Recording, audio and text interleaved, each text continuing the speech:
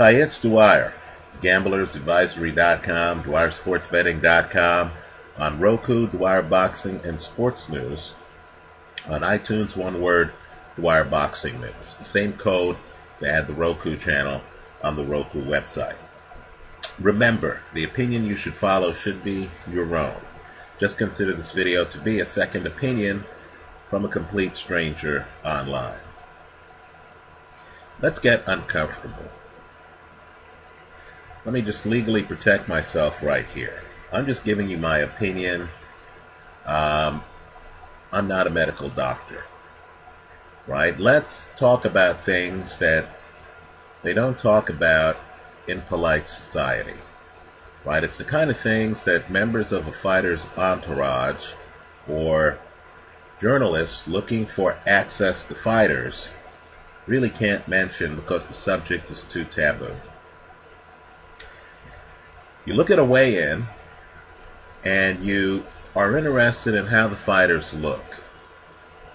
You're interested in whether they made weight comfortably. You're looking at their bodies. You're interested in their physical health. Right? Is this guy healthy? What we ignore too often is a more nuanced perhaps more difficult question. Is the guy mentally healthy? Right? One of my heroes, economist Thomas Sowell, talks about how, you know, some people are just better at doing things than other people. Then he adds, you know, each of us, sometimes there's some days where we're better at doing things than other days right? I believe life operates in cycles. I believe people have up periods and down periods, right? It's hard to talk to an athlete and to ask him, hey, are you mentally stable? Right? If someone's talking to a fighter's trainer, it's hard to say to that trainer, hey, your guy, did he look focused this training camp? Or is he a little bit batty of late? Is he making bad decisions, in your opinion, in the rest of his life? Now understand, I have a different constituency. Right? These videos are really intended for gamblers we can't worry about being polite when we're betting money. We actually have to get to the heart of the matter. So, let me give a couple of famous examples. You saw Mike Tyson falling apart years ago. Mentally. Right? You could tell that there was some strain involved with being a superstar former heavyweight champion. Understand, when Mike Tyson fought Evander Holyfield in the rematch, after Mike bit Holyfield's ear, referee Mills Lane let that fight continue. It's the second ear bite after Tyson had already bitten off a part of Holyfield's ear right after Tyson had maimed Holyfield already and the fight was allowed to continue. It was the second ear bite that got Mike Tyson disqualified. Right? I would encourage everyone to listen to that Tyson post fight press conference. Mike didn't get it.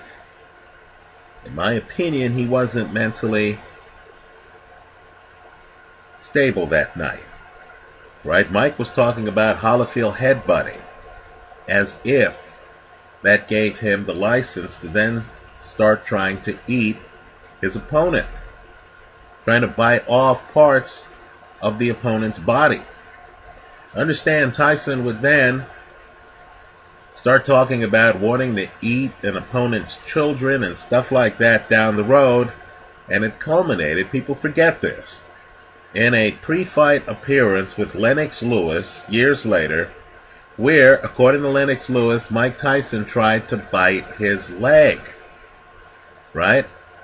This is different than Muhammad Ali trying to sell a fight, trying to sound controversial and come up with rhymes and trying to, you know, playfully threaten Joe Frazier and stuff like that. No, this was a guy who was mentally falling apart. Someone who's mentally falling apart, that's going to impact the quality of the decisions they make in the ring. Right? I'll give another example. Oliver McCall. You might recall he beats Lennox Lewis the first time. In the second fight, Oliver McCall was not ready to fight. Right? He's in the ring crying. He has what I believe was a nervous breakdown during his fight against Lennox Lewis. That's the deciding factor in the rematch. It's Oliver McCall's mental health. Since mental health has decided fights, I believe we need to look at it in analyzing fights. Right? Understand it's ignored because you really can't say to a fighter, Mike, are you mentally ready? Sometimes the fighter himself doesn't even know. I suspect Mike Tyson found out a lot about himself during that rematch against Evander Holyfield. Now, there are two fights on the horizon. They're high risk, but, you know, it's in high risk investments where you make profits. Right? There are two fights coming up where I have to question the current mental health of one of the fighters. Right? For me, it's the deciding factor. Right? I believe the two fighters I'm going to name are under a lot of pressure, are making a lot of bad decisions, right? Are in against opponents who are going to make the bout stressful for them, right? I just believe that these guys are going to crack in the ring. The first fight, and as I said, it's high risk. I actually took this guy in the rematch and did well, but I'm betting against him here. I have questions right now. I'm not a medical doctor. I'm just giving you an opinion. I have questions right now about the mental health of Mike Alvarado. Right? Understand, Mike has had problems in the past. Right? A lot of people have. Right? Mike has served time in jail in the past. Right? Now, Mike has so much to live for right now. A lucrative boxing career. Right? He's about to fight Brandon Rios in the third fight of really what's been a fascinating great trilogy. Right? Mike Alvarado, quite frankly, is, you know, having a high profile, world class boxing career. So you would think that Mike Alvarado wouldn't do anything to put that boxing career at risk. Right? Now, Alvarado trains hard. He physically prepares himself for fights. I would question whether he's mentally preparing himself or is mentally prepared for this fight against Brandon Rios. Understand, the other day, Mike Alvarado, right, who is prohibited from having handguns because, in part, he's a convicted felon, was in a car that got pulled over. Here's what you need to know before they pulled over the car, there was an open warrant for Mike Alvarado. Open warrant for him. Right? Apparently, the police believe that Mike Alvarado may have been in, you know, put it this way. There was an open warrant for Mike Alvarado already. That's before they pulled over the car. The open warrant had been out on him from last summer. When they pulled over the car, they see Alvarado put something in the glove compartment. The police open the glove compartment. Here's a shock. It's a firearm. It's a gun that Mike Alvarado's not supposed to have. Now, some clever attorney, I'm sure, is going to somehow make the argument that Mike Alvarado put a piece of paper in that glove compartment. That the gun in the glove compartment wasn't his gun. No doubt some witness is going to come forward or some participant who's going to claim, hey, that was my gun. Right? You know, not Mike's gun. That was my gun. I put it in the glove compartment. Right? People are going to claim that Mike Alvarado knew nothing about this gun. Right? And that it's just by chance that the police saw Alvarado put something in the glove compartment and that when they opened the glove compartment, there happened to be a firearm in that glove compartment. A firearm that Alvarado's not supposed to have. Right? Mike Alvarado, of course, the same month he's fighting Brandon Rios, is dealing with this problem, which, of course, is in criminal court.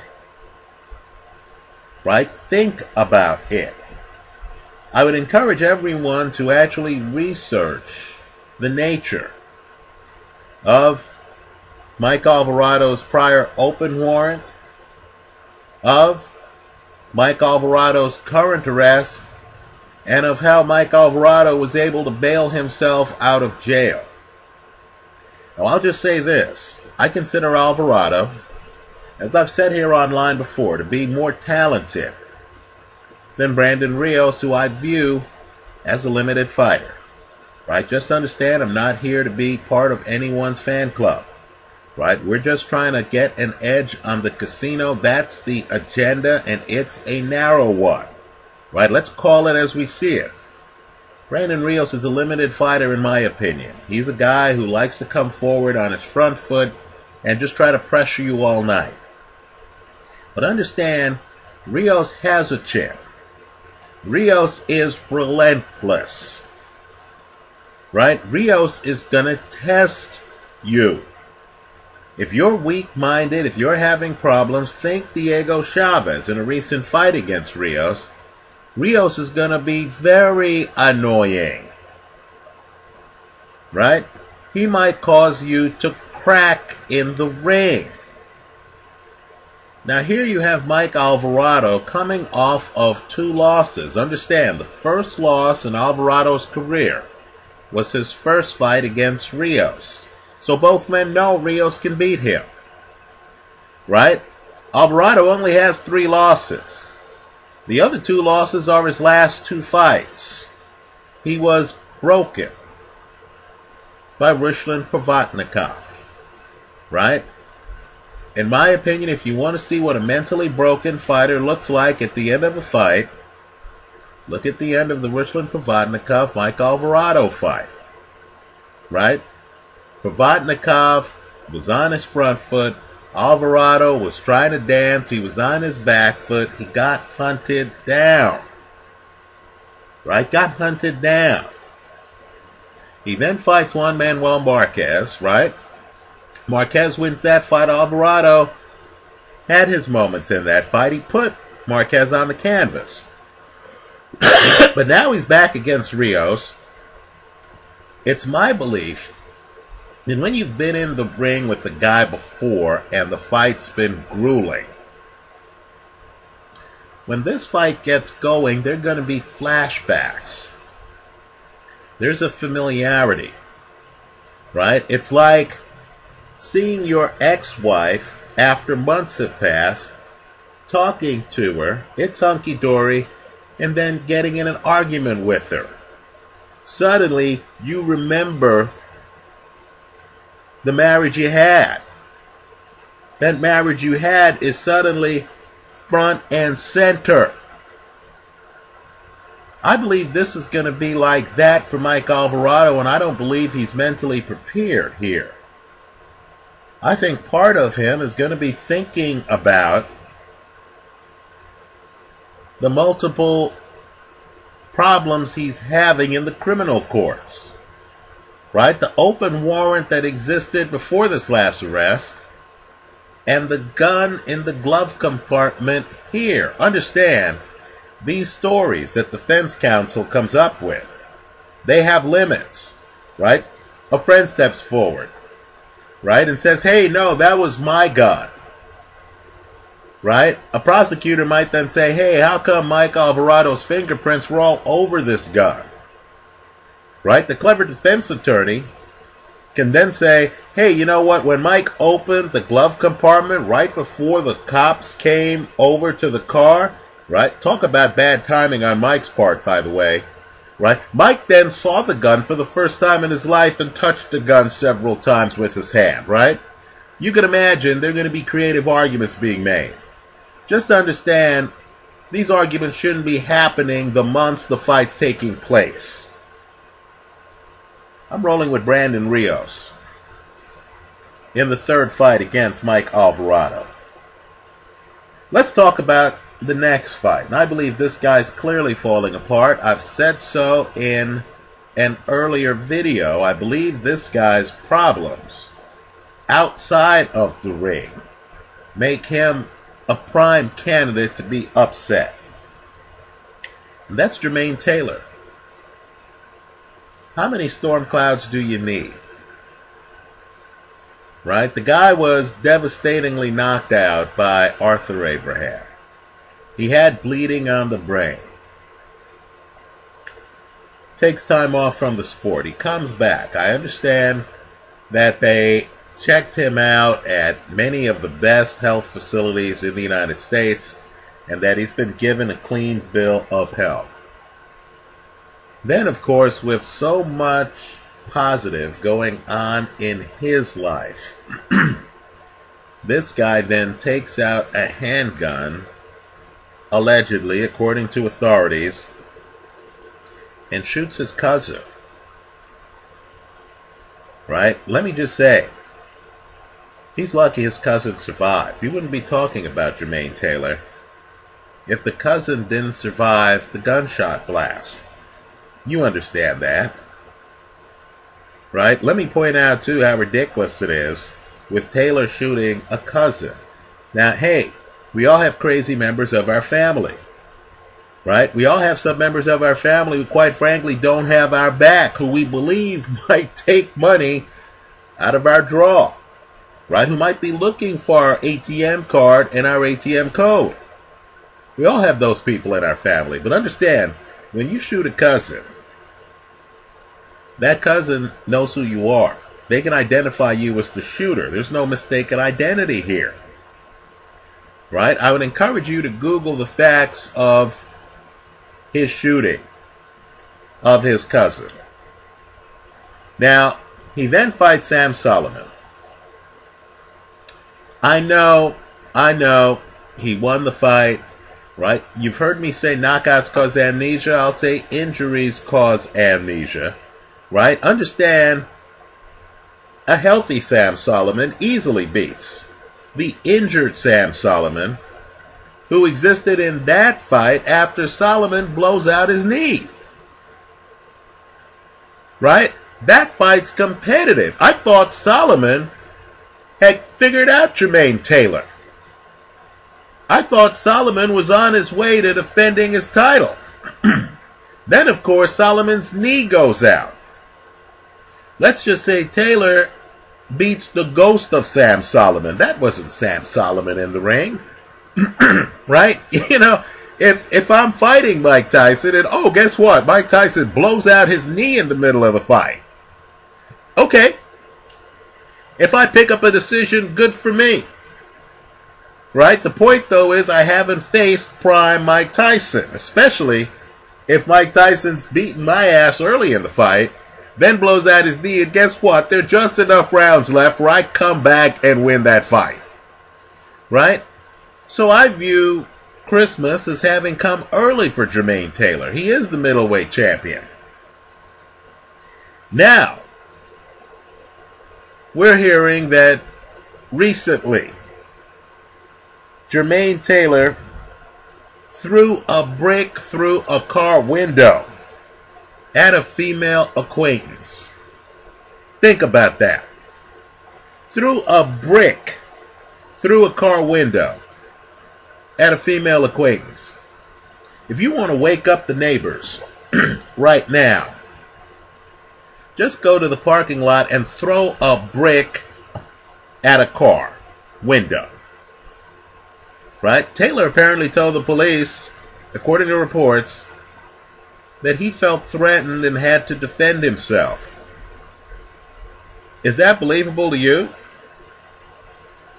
You really feel that the middleweight champion was so threatened by this female acquaintance that he had to go get a brick because we know a loose brick's not right there next to him, right? We know he had to go and get the brick to then throw it at her as she sits in the car. Let me just say, I don't think his head's on right. I just don't. I'm looking at this guy and I'm wondering what's going on. Also, think about it too. You have the IBF middleweight title. Lord knows there are lucrative fights in the middleweight division. Miguel Cotto's middleweight champion. He's a cash cow. Right? You got guys like Peter Quillin, unbeaten, had the belt.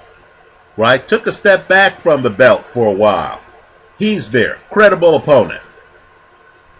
Right? Gennady Golovkin has a share of the middleweight title. When I'm thinking middleweight title, I'm thinking cable network, HBO, Showtime. I'm thinking pay per view. That's what I'm thinking. Well, Jermaine Taylor is having a fight on ESPN. Think about that. Friday night fights to defend his middleweight title against a tough opponent, a guy who himself used to be the junior middleweight champion, a guy who beat Vernon Forrest a great fighter, right? A guy who got a draw with Sugar Shane Mosley, who's certainly a boxing Hall of Famer. A guy with far above average defense. And that's Sergio Mora, the Latin snake. Right? Now, don't you find something curious with this fight suddenly being put together on short notice on a less than premium channel? aren't you a bit concerned here too by the timing? It's like, oh, Taylor is still being criminally investigated, is still involved in the shooting of his cousin case. Now we have a new case. Brick through car window thrown at female acquaintance. And now he's quickly fighting on ESPN. This situation seems unstable to me right? Because I'm not convinced that Taylor was doing that well against Sam Soliman in the early rounds before Soliman blew out his knee, right? And because I feel that Mora, apart from his fights against Brian Vera, right? Sometimes some opponents have the key to your style. Right? It's it's just the way it is. Iran Barkley beat the great Thomas the Hitman Hearns twice.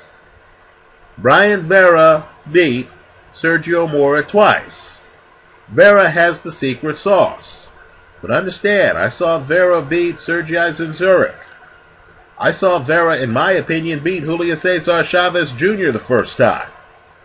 Right? Vera's a bit enigmatic. Right? When, Serg- when Sergio Mora is not fighting Brian Vera, he's an excellent fighter. I like Sergio Mora here. In part because of Jermaine Taylor's mental health issues in my eyes. Now, don't get me wrong, this opinion can change if Mora does things silly like shoot a cousin, throw a brick through a car window before the fight. Okay, if if if, if Mora shows me that he's having the same kind of emotional health decisions. He's making the same kind of decisions as Jermaine Taylor outside of the ring. Okay, maybe my opinion will change. Maybe I'll come back here with a follow up video. But let's just say I think it's ridiculous to envision Mora as having judgment that bad. But yet, that's the behavior of Jermaine Taylor these days. So, to sum up, right, and as I've said before, this is not a fan club site. I'm a fan of the sport. I guess this is a boxing video, but I'm not here to be a part of any fighter's fan club. Right? Let's just try to beat the casino. I don't want to show up and feel that I have to play a political game and stuff like that. No, let's just show up and try to beat the casino. And the way I'm going to try to do that is by betting against Mike Alvarado and by betting against Jermaine Taylor.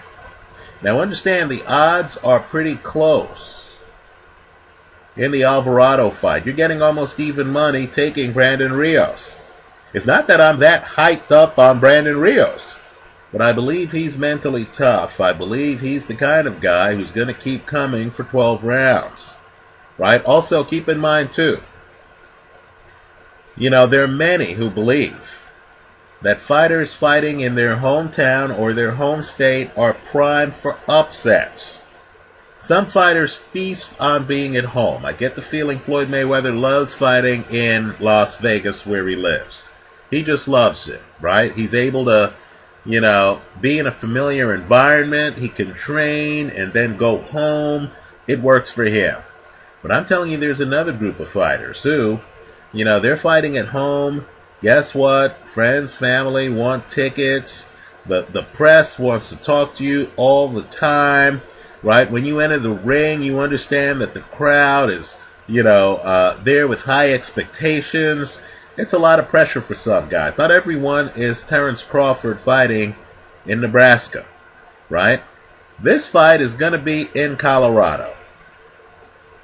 I think that's going to be added pressure on Mike Alvarado, who has lost his last two fights and who's under criminal investigation.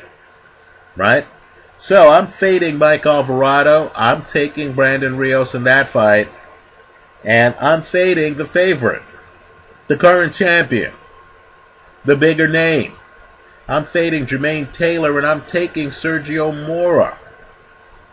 In that fight, I feel Mora is underrated. I think Taylor is making bad decisions outside of the ring that could spill into the ring. Also, let's get real for a second on Taylor. Taylor's a real nice guy. At least he was back in the day, right? These days, I, I can't reconcile what I'm hearing these days, you know, shooting family members, brick in the window. I can't reconcile that with the Jermaine Taylor from back in the day.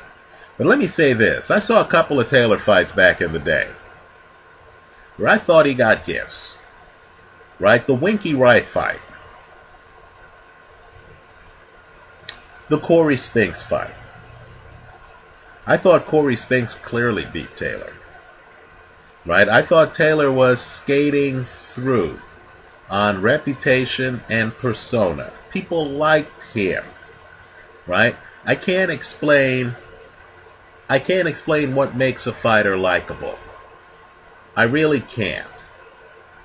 But let's just say there's some guys who have to earn everything they get. I view Floyd Mayweather as having to earn everything he gets. Then there are other guys, Ray Leonard, Jermaine Taylor back in the day, Oscar De La Hoya early in his career. There's some guys who we just like. You see the guy, you say, he's a nice guy. I want to root for him. Canelo, right now. Right? And the close fight, somehow, when they add up the scorecards, the scorecards contradict your own eyes. Right? They'll say, oh, yeah, you know, Austin Trout has landed more punches, has thrown more punches in this fight. Uh, we're going to give this to Canelo right? I thought back in the day, they looked at Winky Wright, who a lot of his style was defensive, right? When you're watching the Winky Wright style, uh, fight, you thought, oh, this other guy can't even land on Winky, right? You had to actually be looking for defense and effectiveness, right? They looked at Winky Wright. They looked at Jermaine Taylor. I thought it was a beauty contest. They picked Taylor. Okay, fine. Corey Spinks is circling Taylor makes Taylor look very bad, right? is the smaller man in the ring. I encourage everyone to revisit that film. My point is simply this. You know, Jermaine Taylor, his record might reflect his likability as much as it reflects anything else. He is soft spoken, he is well presented, and stuff like that. No question about it. If you're betting against Taylor, you need to understand the aura that he brings in the ring. He's the kind of guy who judges, for whatever reason, give close rounds to. Just be aware of that. Right? With all of that said, I'm still taking Sergio Mora, who doesn't have a lot of power, in the fight. I think if Mora is able to get by Taylor's jab, I think Taylor is going to, you know, fall apart. We'll see if I'm right. In fact, for two more fights that were close, where Taylor was given the benefit of the doubt, I encourage you to go back and look at Taylor against Bernard Hopkins. Now, those fights are close. You could score that however you want, right? But it is a bit astonishing that against the guy who at the time was a legendary middleweight champion, Taylor got the benefit of the doubt in both fights from the judges. Just be aware of that just be aware that I'm taking Mora against Jermaine Taylor for Taylor's IBF middleweight title on ESPN's Friday Night Fights. That's how I see it. Let me hear from you. Leave your comments for me here online. Visit us at gamblersadvisory.com. Thanks for stopping by.